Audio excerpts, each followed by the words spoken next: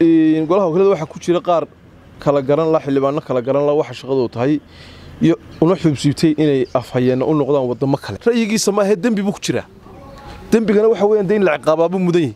Haddii dowladnimo iyo system la isku ciqaabi waayana dee ummaddan qiyamkeeda ummad baa u soo dhimatay oo halgantay oo dhibaatootay oo tacabtay.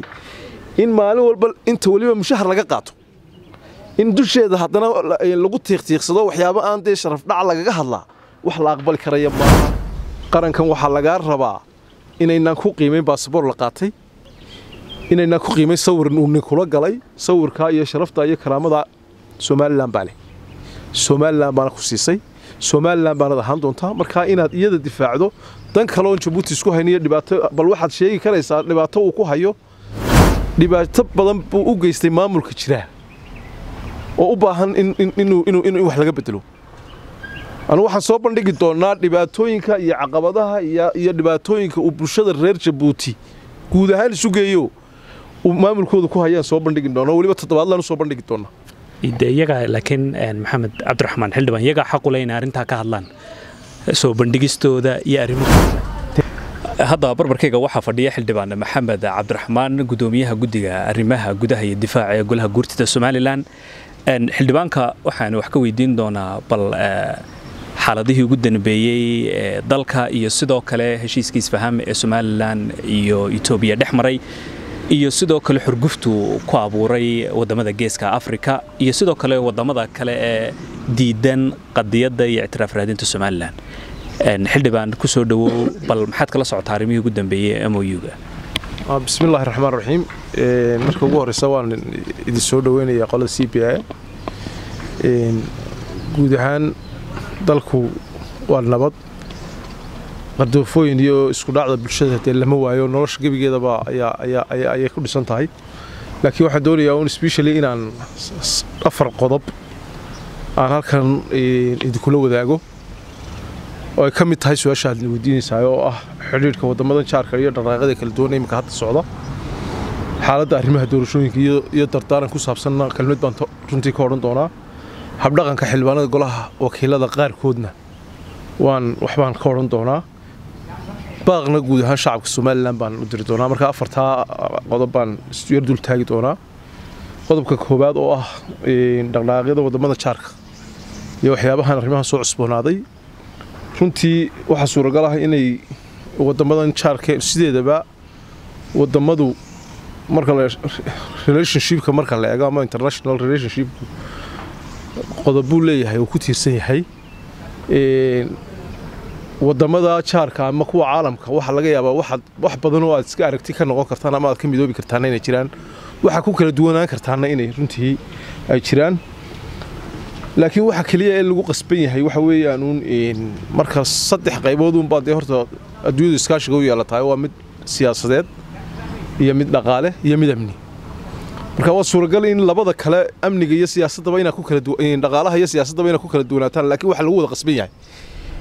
Oo aan marnaba laga saari karin meesha in iskaashi amni la yeesho waddamada jaarka ama kuwa caalamkuba. Oo waxaa adduunyada ka socdaa haddaan iskaashi amni lagu wada wajiyin oon iskaashiya laga yeelan iyo heshiisyo wax badan baa kharibma marka runtii sideedabana waddan waliba waxa uu leeyahay dee istiraatijiyad u gaara. Waxyaabahan socda istiraatijiyadda maanta somalilan iyo istiraatijiyadda jabuuti iyo istiraatijiyadda soomaaliya iyo ta waxaa laga yaabaa waxyaabo badan oo ay ku kala duwanaanayaan iskaga hor imanayaan baa jiro badan. Wax ka dhexeeyo lagu qasban yahay in laga midaysnaadaana way jirayaan marka waxaan doonayaa un inaan horta isyar dul taago oon idhaahdo habfikirka ama qaabka siyaasadda waddan waliba u wajaho inaynu cabbiro. Adduunyadoo dhammi laba qaab bay wax u shaqaysaayoo wax la yidhaahdo idealism iyo realism baa horta. Labada tiiree noloshu ay horta ay ku bayskaraysan yihiin waa kuwa. Marka waxaan is leeyahay idealismkuna waa fikrad maskaxda ku tusayso waddanka aad jaarka tihiin. Ee aad cilaaqaadka la leedahay mustaqbalka soo socda marka la ictiraafo ama se uu maalgelin caalamiya helo waxa uu istusaa inuu saamayn ballaadhan ku yeelanayo taas oo u keenta inuu habfikirkiisa geliyo. Tallaabooyin aanu ka fiirsan khatarna ku ah amnigana keeni karta oo colaadda jaarka runtii way ta maanta inaga iyo ismaaciil cumar geelle runtii ina dhex taalla. Waayo madaxweynaha jabuuti aragtidiisu waxay ku bayskaraysantahay idealismka. Marka idealismkuna had iyo jeer wuxuu sawirtaa oo maskixiyan u sawirtaa.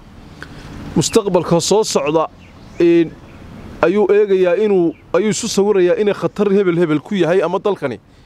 Matalan somalilan oo laba wadan baynu nahay oo jaara wuxuu ka fakerayaa somalilan haddii la ictiraafo sidee u ekaan doonta wuxuu istusayaa inay khatar ku tahay haddii somalilan la ictiraafo oo ay heshiis caalamiya hesho oo ay maalgelin caalamiya heshaa inay khatar ku tahay wax soo saarkiisa iyo noloshiisa marka sawirkaasi wuxuu humaagaasi wuxuu u samaynayaa inuu cadaawadi inuu khatari ku soo socoto aanu dee ilaahayna qadarkiisa iyo wixiisa lama socdo.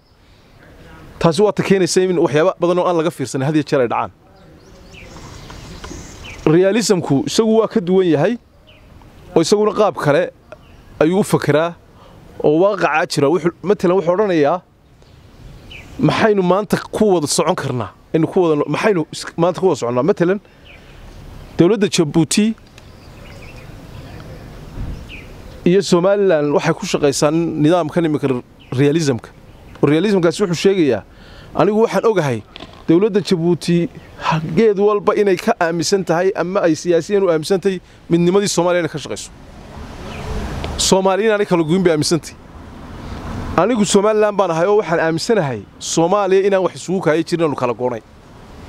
Waa laba aragtiyood oo kala fog jabuuti kuma colaaldinno fikirka siyaasiga ay aaminsan tahay hadday soomaali mida doodoonaysa iyo hadday kala go'a soomaaliya ay ilaalinaysaba innagu somalilan ahaan kuma colaadinno maxay soomaaliya isugu keen qasbaysa?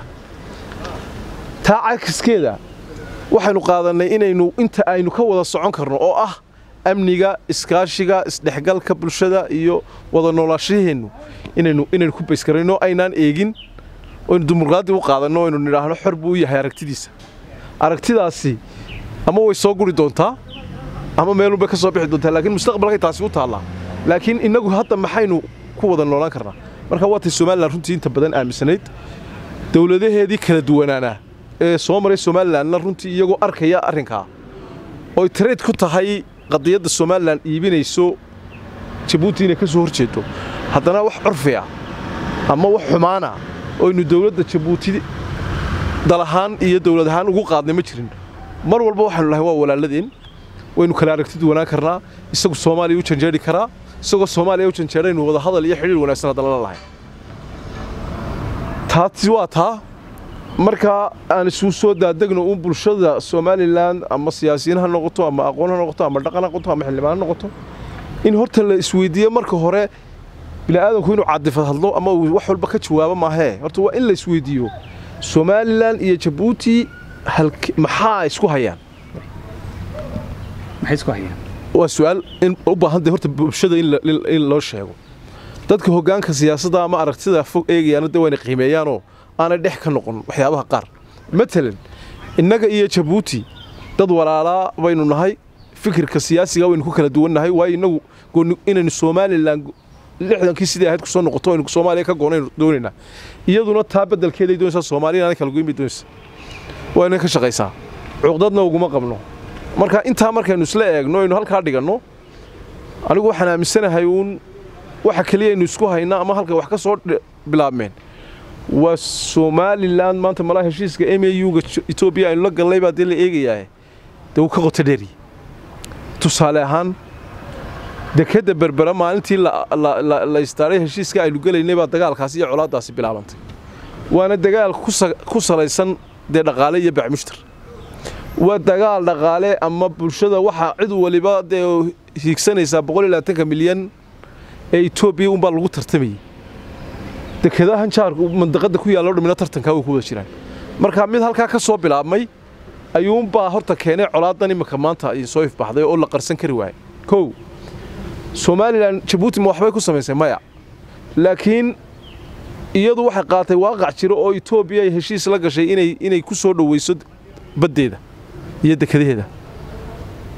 Taasaynu inagu faa'iido u aragnay inaynu heshiis la galno. Heshiiskaasi waxaanaan sheegaya idealismku wuxuu tusay markaa inuu heshiiskaas somalilan iyo etoobiya galeen khatar ku yahay jabuuti waana ta colaadda inagu sababtay aynu ku gallay marka horta waxaynu inagu ku samaynay ma jira dee ayaa ayaa ayaa khatar dalkeedii inagaba khatar ina gelisay oo colaaddaa maanta abuurtay oo dee abuurtay. Taasi waa qodob. Way maxamed cabdiraxmaan heshiiskan isfahama ee dhex maray somalilan iyo etoobiya saamayn muxuu ku yeelan karaa somalilan maadaamuu cadaawad fara badan uu abuuriyada lafteeda? Kolley de waxa weeyaan inagu somalilan waa dal doonaya inuu goonidiisi lixdankii la soo noqdo. Adduunyadii la macaamilo dowladaha adduunyada ka mid la noqdo. Wadamo badan oo aan aan taa fikirkaa ka soo jeedo dhibaato u arka ayaa jira. Heshiiska etoobiya iyo somalilan horta taariikhiyan marka la eego colaad guuna oo muddo badan la soo dhisayey oo laga soo shaqaynayey oo laysu bahalageliyey etoobiya iyo soomaaliya ayaa muddo dheer wakhti badan dee soo dhisnayd.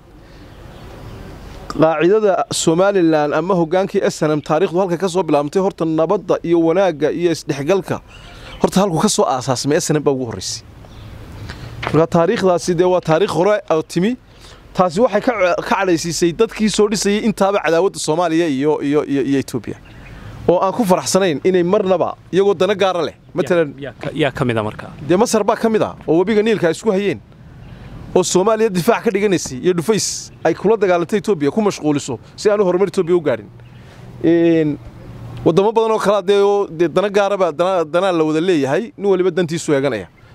Marka maanta jabuuti baa ku biirtay oo jabuuti oo u aragta somalilan haddii la ictiraafo hadday horumarka gaadho haddii dekeda laga sameeyo inay dekadaheedu khatar gelayaan. Umana qaba inay khatar gelaysa dee laba oo walaalaha jaaroo iscamiraya oo tartamaya baynu nahay milyan etoobiya dekadahan labadan dekadaheena inagiyo jabuuti iyo iyo kenya iyo waddamo badan dekado badan bay u baahantay marka marnaba ma jiro culays inagu dhibaato aynu ku haynaa walaaladeen laakiin isagu hadduu arko inay dhibba ku tahay oo noloshaada iyo jiritaankaaga iyo dowladnimadaaduba ay halis ku tahay dee waa xanuun meel jira.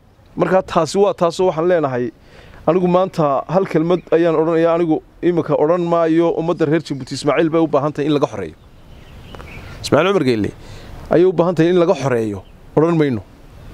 Laakiin waxaan ogahay oon leeyahay dhibaatooyin fara badan baa shacbiga bulshada jabuuti haysta. Dhibaato badan buu u geystay maamulka jiraa oo u baahan in wax laga bedelo. Anu waxaan soo bandhigi doonnaa dhibaatooyinka iyo caqabadaha iyo dhibaatooyinka uu bulshada reer jabuuti guud ahaan isu geeyo maamulkooda ku hayaan soo bandhigi doona weliba toddobaadlaan u soo bandhigi doonnaa de iyagaa laakiin maxamed cabdiraxmaan xildhibaan iyagaa xaqu leh inay arrintaa ka hadlaan. Soo bandhigistooda iyo arrimahoodaba dee waa yahay aniga maxaa haddaa waa yahay dhibta maxaa aniga soo isba muu soo gelin somalilan danteedii iyo horumarkeedii iyo nolosheedii? Sidaa u soo farageliyey baan xaq u leeyaana inaan u farageliyo oo aan dhibaatooyinka dulmiga uu ku haya isna dadkiisa sheego. Isagu maanta wuxuu leeyahay somalilan baa dad dulmi ku haysa waa kaa dadka dee mucaarid sheeganaya oo meelo kale ka yimi isagoo ku ururinaya isagoo le dad baa dulma soo maaha dee annagu tu rasmiya isagu dad dulman halka somalilan ku dulman oo isku dulmiyaa ma jiree rasmi waxaa ah dadka bulshada reer jabuuti noocay doontaba ha noqotee inay ku dulman tahay.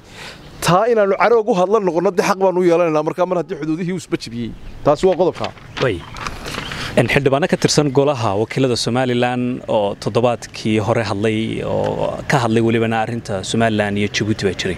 Bal adiga aragtidaada ku aadan xildhibaanadaasi hadlay maxay tahay?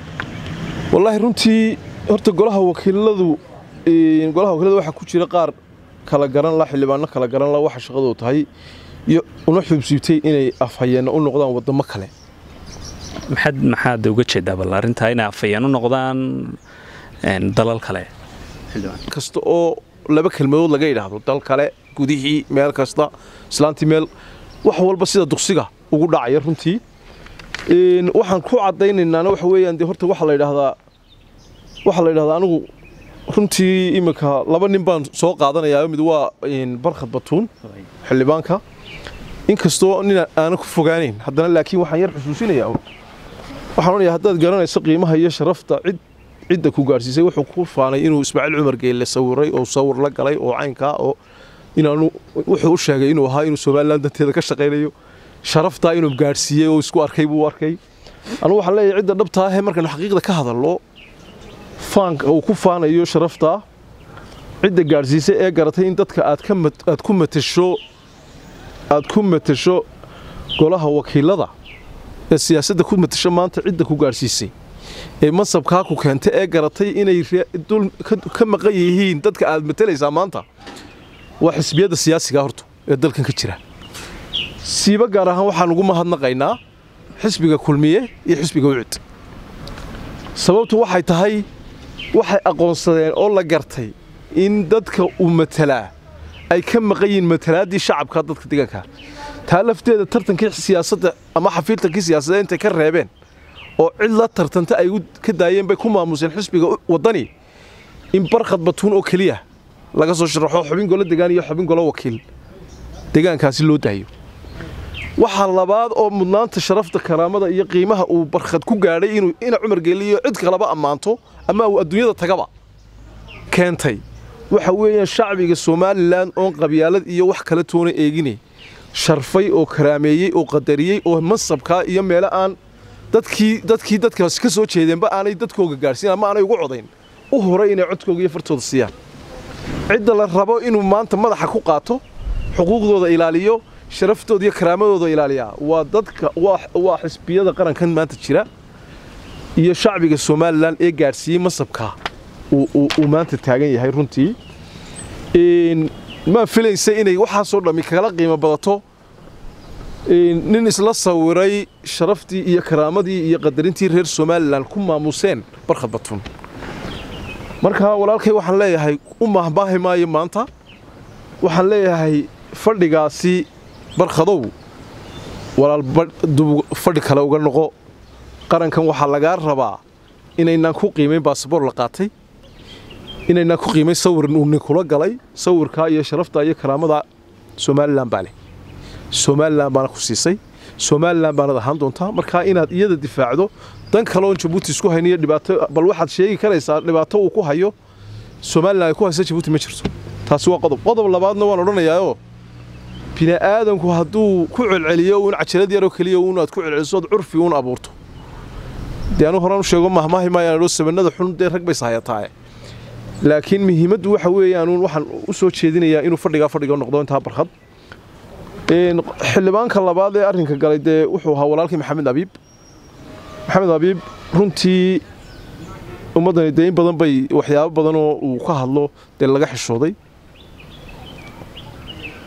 Oo dee dhaawacaysa sharafta qarankani leeyahay. Qarankan somalilan waxaynu horta isku waafaqsannahay dowlad baa jirta wakhti muddo leh la doortay. Sharaftii iyo karaamadii ummaddan haysa. Inta ay joogto sharaftii iyo karaamadii iyo haybaddii qaranka madaxweynaha iyo xukuumadda joogta ayaa haysa. Marka horta waa inaanay iskaga keen qaldamin mucaaridnimada iyo dhaliilaha xisbiyadu isu jeediyaan iyo dhaawaca la dhaawacaya qarannimada iyo difaaca iyo sharafta karaamada qaranku leeyahay oo head of stateku uu inoo hayo. Haddii waxaynu iska noqoto oo ninku maalin walba dee wax walba ku hadlo wixii suuqa layska odhan jiray iyo laga wada hadlo oo faan laga dhigto dee qiimo yeelan mayso. Haddiise dee noqonna mayso sharafta iyo karaamada iyo xasaanadda qaranku ku siiyey inaad dee iyada wax ku yeesho kuna gaban kari maysid.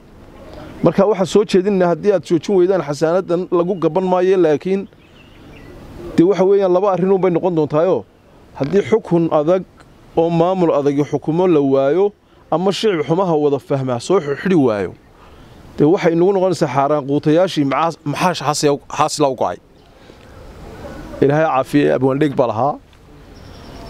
Oo lahaa xukun iyo haddaad maamul adag ku xakamayn weyne kuwa noocaasa ama shicib xumaha wada fahmaa. Soo xidhxidhi waayo dee ama shicibku ka dhiidhi waayo sacabkun laysaga tumo. Xumiyo samabaa dee kuwa xumaha quudanaya wax maxaashis baa u go'ay dee oo iyagoo waxa ka shaqaynaya oo meel walba dee gacanta soo gelinaya. Ayuunbaa dee loo sacbinaya in sacbise helayaan marka waxaan filayaa inaan xasaanad dambena lagaga gabanayn lagana xishoonayne haddii sharciga iyo nidaamka iyo sharafta ummadda leedahay looga xishoon waayo cidina ka xishoon maaso cidna. Laba qodob oo yarar baan isagana kaga soo gabagabaynaya ku fogaan maayo. Habeen dhawaad m t v buu ka hadlay. Wuxuu sheegay dee baahida u geysay meesha jabuuti waxay tahay iyo nidaamkeeda. Waxay nagaga filan tahay. Mar hadduu baasaboor u doontay oo baasaboor uu ka soo qaatay baasaboorkaasi dalkan madaxweyne kama aha. Wax dibadda kaga xidhan oo fara badan oo jiraana ma jiro. Horta danihii baasaboorkaasi lahaa unbuu ka shaqaynayaa dee baasaboor buu ku shaqaynaya ninaan dan somalilan ka shaqaynayn buu horta noqonaya. Taasi waa qodob. Qodobka labaadna waxa weeye horaan u sheego baahiyahaan ku sheegayoo baasaboorkan jabuuti loo doonanayo imminka adduunyada xiijiyey waxaan anu aaminsanahay imminka waar niman qurba jooga oo duruuftay ku nool yihiin ilaahay uun og yahay oo siday waxula soo baxaan ama qaarkood caydhba qaataan ama barafkaa dad dhex socdaan oo adduunyo ka soo qaataan uunbaa la doonayaa maalin walba inta loo yar dhoofo sooriya yar in loo doonto oo lagaga soo maxaabsado oo dee daasad laga qaato la soo dawaso dadkeennu had iyo jeer sooriyada waa dad goba. Markaa horta mid lagu tegayo qorbaha lagu soo marayo jaaliyadaha loogu tegayo dee lagu dawarsanayo bayada lafteedu tahay war waxaan leeyahay qarankani wuxuu u baahan yahay ummaddan qiyamkeeda in la ilaaliyo. Baasaboorna ma gooyo. Wax yaroo meel laga soo qaataana ma jiraan qarankan iyo haybadiisa iyo karaamadiisa aan ilaalino. Intaana intaasan ka odhanaya. Waay xildhibaan maxamed cabdiraxmaan labada xildhibaan ee hadlay maxamed iyo sidoo kale barkhad waxay ka hadleen aragtidooda. Wayna u madax bannaan yihiin. Sidoo kale waxay sheegeen arrinta somalilan iyo jabuuti in arrin diblomaasiyadeed ay tahay oo aan la gaadhsiin heer colaadeed. Adigu arrintaa meed ka soo horjeedaa dee anugu jabuuti somalilan oo isaystaba ma arko. Jabuuti somalilan jabuuti wax ku geysanaysana ma arko.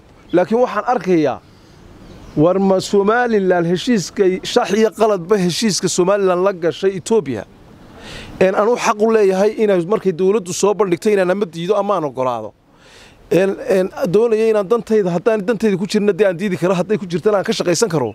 Waxa jabuuti iyo kayrkeed aniga iyo xasan sheekhoo meel maraya oo adduunyada mara sito lulaya iyo jabuuti oo iyana marada tuuraysa oo ka dagaalamaysa in dekedaha somalilan la maalgeliyo.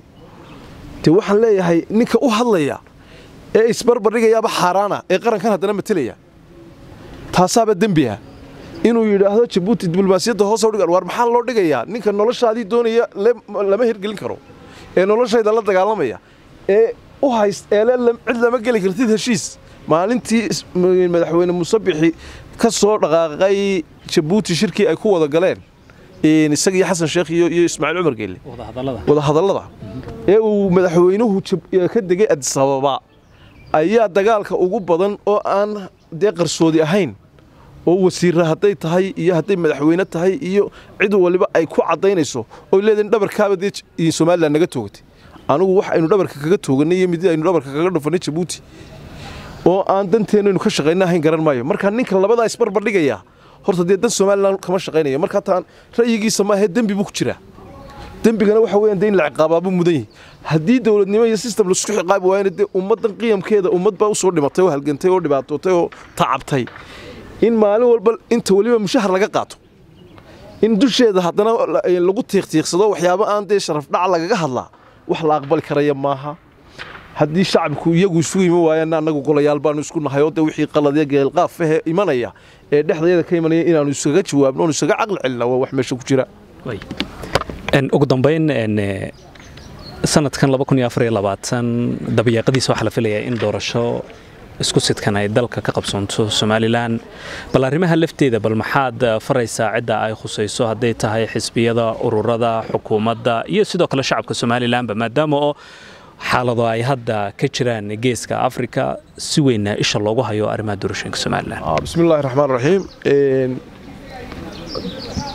horta runtii dee waa madal madlan way noo madlan tahay doorashada iyo wakhtigeedu waxaynu se u baahanay dhammaan xisbiyada iyo ururada waxaanu soo jeedinaa inay u feejignaadaan. Si dhowna ula socdaan isbedelada ka socda mandaqadan iyo geeskaba. Fursad iyo fursadaha dhaqandhaqaale ee somalilan lagu jiro sidoo kale waa inay aydaan ku dhex aydaan dhex ka noqonin gardarooyinka indhala'aanta ah ee lagu wado qarankan.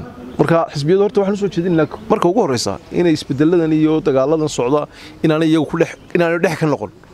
Oo qarankan mabaadidiisa ay isgarab taagaan mar haddaynaan waxaynu isku haynaa jirin anugu cidaynu haynoo kale ma jirto. Somalilan adduunyaday la macaamilaysaa heshiis bay la gelaysaa ninkii ku colaysanaya de waa inaan qarankan rag ku jira ama siyaasad doonaya iyaguna aanay isbarbar dhigin nin noloshiisii ka horjeediya nin kale. Marka waa inay horta taa u midoobaan caddeeyaan mowqifyadooda ama xisbi ha noqdaan ama urur ha noqdaan waa inay mowqifka qarankan ka aaminsan ay ku hagayaan. Waa inay horta caddeeyaan taasi waa qodob. Waxaa kaloon u soo jeedinaa inay ka shaqeeyaan midnimada iyo wadajirka reer somalilan sidoo kalena waa inay ka fogaadaan dhaleecaynta iyo afalagaadooyinka laysu jeedinayo. Oo wakhti kaambeyn baynu gelaynaa waynu naqaanaa doorashooyinkeenna dadkeenna waynu naqaanaa. Marka waxaan u soo jeedinayaa xisbiyada iyo ururadaasi inay afkay ku hadlayaan noqdo af ay ummadda ku kasbanayaan oo ah waxa uu xisbigani xisbigan kaga duwan yahay waxa uu dalkani halkan uu taagan yahay baa laysku hayaa. Wax meel ka dheer siduu gaadhsiinayo. Aragtidiisa inuu soo bandhigo dadka qalbiyadoodana inay kasbadaan. Ayaan taana odhanayaa. Waxaan u soo jeedinayaa inay faragelin kasta oo inay ilaaliyaan. Waxaan waxa kaloon rabnaa inaan inaan la wadaagno inay ixtiraamaan hanaanka komishanka doorashooyinka wax u wado oy dhowraan shaqooyinka la qabnayo ama xisbi xaakim ha noqdo ama xisbiye mucaarida ha noqdo waa inaanay ka hadla shaqooyinka komishanka doorashooyinku hayo. Taasoo dhaawac inaga keenaysa runtii. Taana intaasaan ka odhanayaa xisbiyada. Komishanka doorashooyinkana waxaan ka codsanaynaa isagana. Waxaan ka codsanayaa inuu ku dadaalo inaanay dhicin kalsoonida daneeyayaashu siiyeen. Inaanay ka dhicin.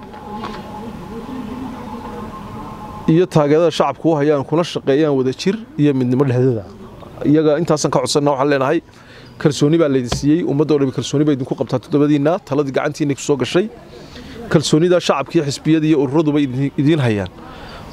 Waa inay waa inaan idinkuna iska lumin.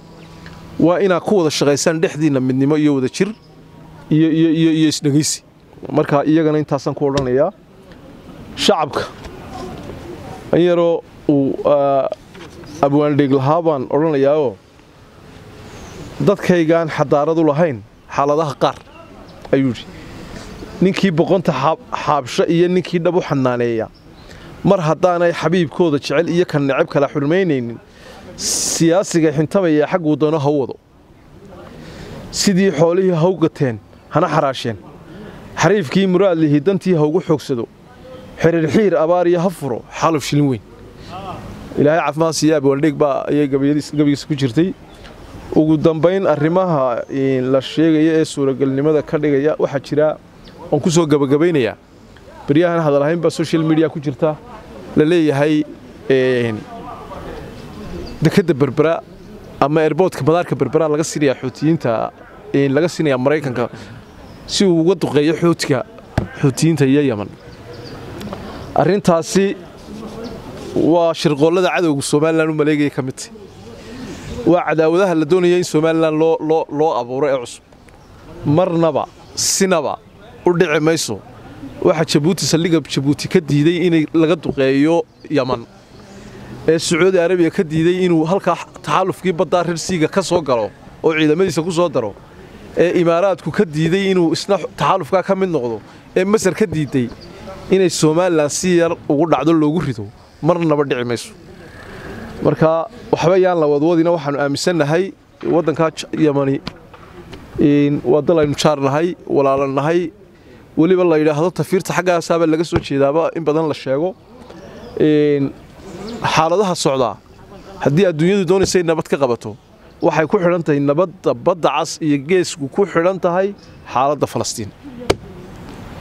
Xaaladda qasa haddii la doonayo inay rarsii amni noqoto haddii la doonayo xuutigu inuu faraha ka laabo oo amni lagu maro haddii la doonayo in nabadda lagu soo celiyo xasiloonin lagu soo celiyo mandaqadan waxay ku xidhan tahay xaaladda ka socota khaza iyo sidii dadkaa ay u heli lahaayeen dowlad falastiin iyo laba dowladoodoo jaaro wanaagsan ay u noqon lahaayeen. Adduunyadu taa intay garanayso waxaan filayaa mandaqadan xaaladdu way sii kordhi doontaa way sii adkaan doontaa annaguna qayb ka noqon mayno insha allah biidnillahi kariim. Xamse xayd c b a t v hargeysa. Maasha allah soo dhowaada. La jaanqaad shirkadda telesom. Maxmil waxay kuu diyaarisay adeegga internetka ay faibar optiga kaasoo xawaarihiisu kala go' lahayn waa guji waa ishaa biligteeda. Intuu soo gudlanayo hadalba gam. Hagarla'ii ku isticmaal sochial midiyaha kuna daawo wararka cayaaraha iyo onlaine geemiska haddaba maxmil soo gasho gurigaaga xafiiskaaga iyo goobtaada shaqo. Fadlan nagala soo xidhiidh nambarka gaaban 121